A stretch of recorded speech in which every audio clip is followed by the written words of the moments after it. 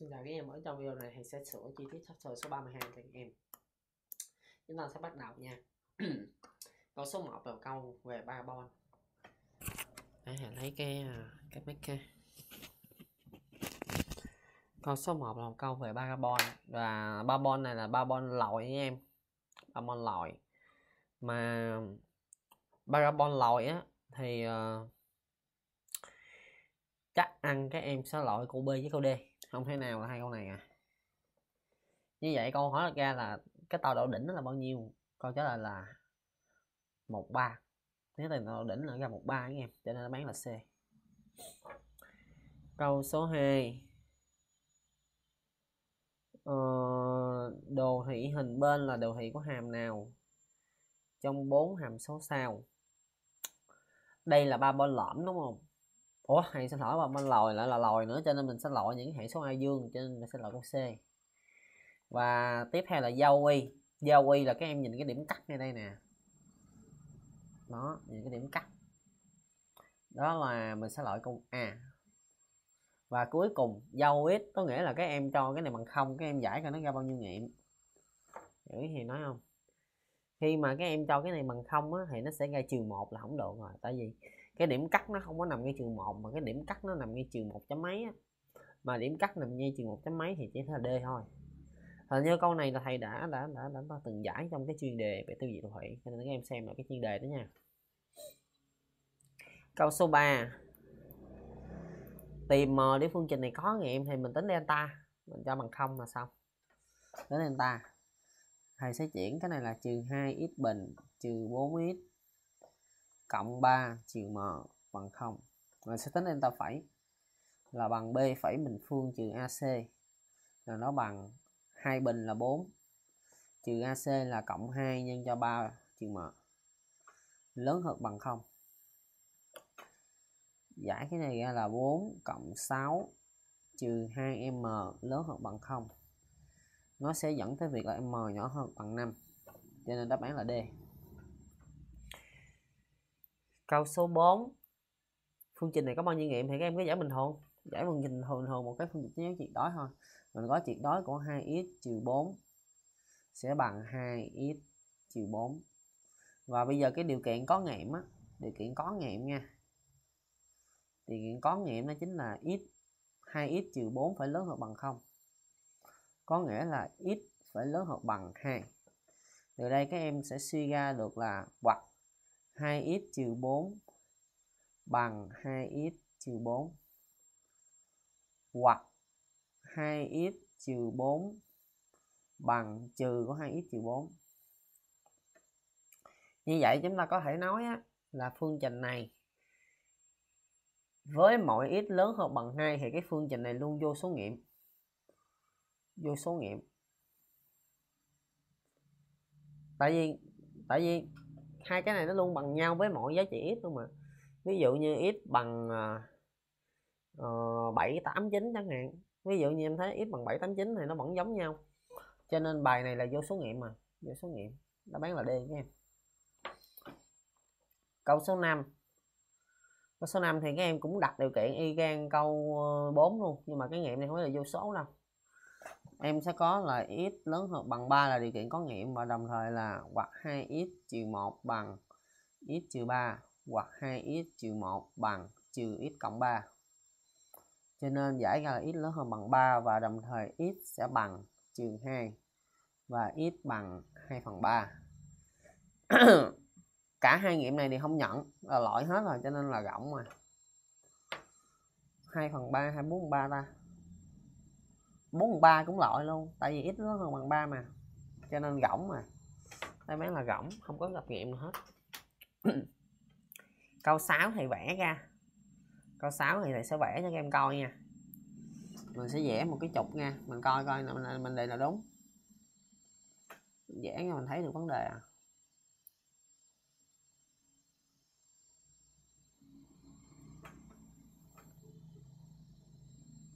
Rồi cái tọa độ đầu tiên là 11 phải không?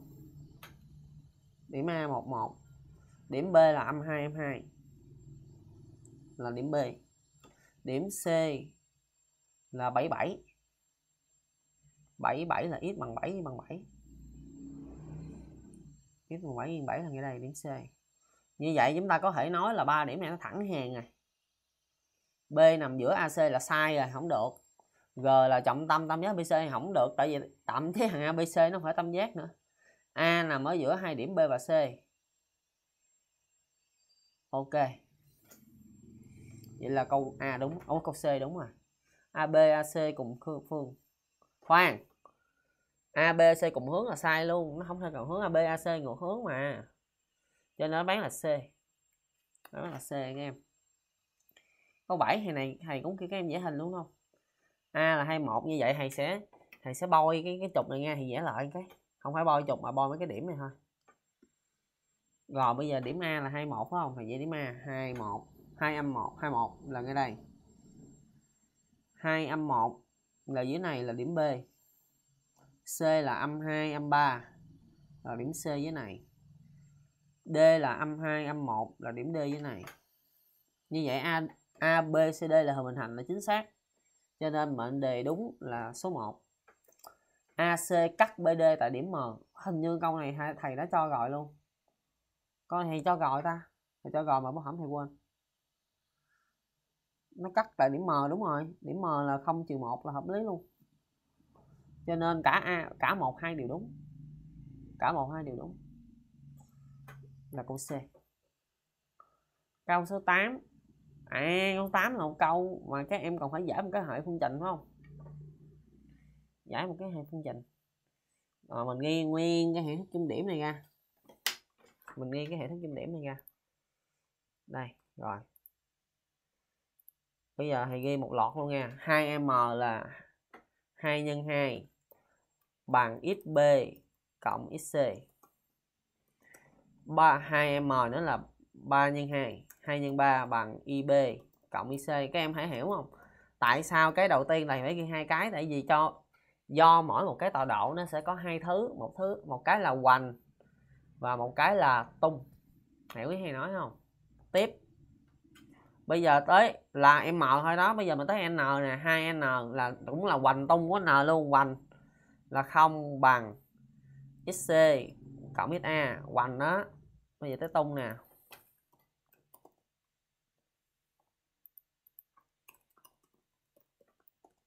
Tung là 2 nhân 4 là âm 8 bằng IC cộng IA đúng không? Vậy là cái này là tôi phải tìm cái cách nào đó tôi giải cái hệ phương trình này rồi, cái hệ phương trình này 6 ẩn rồi 2xb là bằng âm 2 bằng x a cộng xb và 12 bằng ia cộng ib rồi, bây giờ mình ngồi mình suy nghĩ thôi uhm tụi mình ngồi tụi mình suy nghĩ coi. Gốc cục thì cái này giải làm sao? X xb cộng xc bằng 4 nè. Theo hàng nghĩ nha, cái này là phải xài à, phương pháp thế á. Xài phương pháp thế, để thầy bắt cái gì đó thầy giải cho các em coi. Xa cộng xb uhm bây giờ để để để, thầy, thầy thầy hướng dẫn các em giải cái hệ này từ từ nha. Bây giờ tạm thời tụi mình sẽ khử hết mấy thằng y mấy em chịu không? Mình sẽ mình sẽ khử hết mấy thằng y. Bây giờ tụi mình sẽ để cái x cho gần lại thôi. Ví dụ như thầy có xb cộng xc bằng 4 rồi xc cộng xa bằng 0 cho nó dễ nhìn rồi ờ, uh, xa cộng xb bằng âm 2 đúng không? Là cái này là từng những thằng x thôi. Còn bản thân cái thằng y á là mình sẽ mình sẽ ghi nó riêng để cho nó dễ nhìn. Thằng y là mình ghi riêng coi như thằng y thằng y nó đâu liên quan tới thằng x đâu. Thằng y là mình sẽ làm cái riêng à, ờ, cho nó dễ nhìn á chứ nếu mà mình mình mình để mà để chung á thì nó rất là khó nhìn đúng không? Mình có ib cộng ic bằng 6 và ic cộng ia bằng âm 8 và ia cộng ib bằng 12 ok. Cái này, mỗi một cái hệ như vậy nó có ba ẩn và chúng ta xử lý cái hệ ba ẩn được rồi. Đúng không? Ở đây thầy sẽ thầy sẽ mô phỏng lại một cái hệ phương trình ba ẩn cho các em coi nha. Bây giờ cái ẩn x đi, thầy sẽ có 0 xa 0 xa cộng xb cộng xc bằng 4 và thầy có xa cộng 0xb đúng không? Thầy ghi lại cho các em dễ nhìn nó, cộng xc bằng 0 và thầy có là xa cộng xb cộng 0 xc bằng âm 2 thầy ghi cho các em dễ nhìn thôi. Ở dưới này này có là cái gì? 0 ia cộng ib cộng ic bằng 6 và thầy có ia cộng 0 ib cộng ic bằng âm 8 thầy có ia cộng ib cộng 0 ic bằng 12 ok. Bây giờ mình chỉ cần là bấm hai cái hệ ba ẩn là xong. Chúng ta sẽ tìm được hết luôn. Chúng ta sẽ tìm được hết những cái này luôn. Mod 9 1 3 đúng chưa? Nhập vô 0 1 1 4 cái đầu tiên nghe thầy thầy chỉ mới nhập cái đầu tiên thôi. Được chưa? Thầy chỉ mới nhập cái này thôi. Nhập cái này thôi. 1 0 1 0 1 1 0 âm 2 nó ra âm 3 1 với 3 đúng không? Âm 3 1 với 3 cho nên thầy ghi lại nha. Mà tự nhiên cái cái kia nó không có dính cho ta. Đưa vô đây dính không? Không dính. À dính rồi cả rồi bây giờ uh, khoan symbol rồi bây giờ thầy sẽ có cái gì? Thầy vừa giải ba cái này là xa sbc cho nên thầy sẽ có xa bằng mấy? Xa bằng âm 3 uh, xb bằng 1 và 3 âm 3 xb là 1 xc là 3 đúng chưa? Âm 3 1 3 ok. Đó là x nha. Bây giờ tới y nè. Bây giờ tới y. Thầy để dấu phẩy cho các em dễ nhìn nha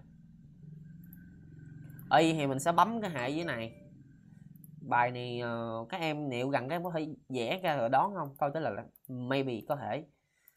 Nhưng mà theo thầy là giải hệ cho nó quen. 6 1 0 1 âm 8 1 1 0 12 nó ra âm 1 13 với âm 7 đúng không? IA bằng âm 1 IB bằng 13 IC bằng âm 7 cho nên chúng ta sẽ có tọa độ A là âm 3 âm 1 tọa độ B là 1 13 tọa độ C là 3 âm 7 và nó hỏi cái gì? Nó hỏi tọa độ A thôi. Tọa độ A là âm 3 âm 1 là câu B. Ối chà. Chua nha ừ. uh, câu, một cái problem đặt ra là liệu gần chúng ta có thể nào chúng ta vẽ cần chúng ta đón tọa độ A được không? Câu trả lời là có thể. Có thể nha. Có thể có thể có thể. Cho nên các em cứ vẽ ra thử đi, ở đây thì sẽ giải hệ phương trình thôi. Rồi, câu chính thì đơn giản rồi câu chính là thầy sẽ gọi y là x, y y, thầy thế vào đây, đúng không? Bây giờ thầy sẽ đổi lại, thầy để vector ai cộng hai lần vector bi bằng vector không cho nó dễ nhìn nha. Thầy có quyền đổi lại mà tại cái này bên đây vector không mà. Thầy bây giờ ở đây thầy, thầy sẽ tính vector ai ở ngoài trước vector y lấy y trừ a cho nên sẽ có là x y trừ 1 y y trừ 2 vector bi lấy y trừ b là nó sẽ ra là x y cộng 2 y y trừ 3 rồi xong mình thế vô đây vector y là xy trừ 1 y y, trừ 2 cộng cho hai lần. Xy cộng 2 rồi, y y trừ 3 vector 0 là tọa độ 0 0 đó các em. Và mình lấy hoành cộng hoành, tung cộng tung là xong. Hoành cộng hoành là xy cộng hy là 3xy âm 1 cộng cho 4 2 x 2 là 4 là bằng 3 xy cộng với 2y là 2y âm 2 trừ cho 6 là âm 8 bằng 0 cho nên ở đây chúng ta sẽ có là 3xy bằng, cộng 3 bằng 0 và 2y trừ 8 bằng 0 dẫn tới việc là xy bằng âm 1 và y bằng bằng 4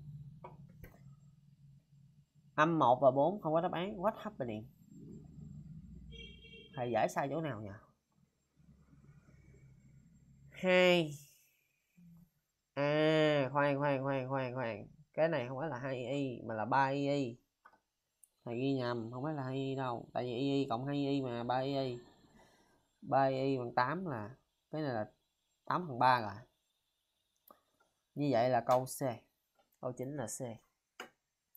Câu 10 thì thầy không cần bấm máy luôn, thầy dựa vào cái bảng thầy biết luôn là cos 30 là căn 3 chia 2 cos 60 là 1 phần 2 sin 30 là 1 phần 2 cos sin 60 là căn 3 chia 2 cho nên biểu thức này bằng không luôn. Không có gì giải hết. Đơn giản mà. Tại này chữ này. Rồi, đó là lời giải của thầy trong chapter số 32 thầy mong rằng các em sẽ xem lời giải này và thưởng thức nó. Tạm biệt các em. Bye bye. Say goodbye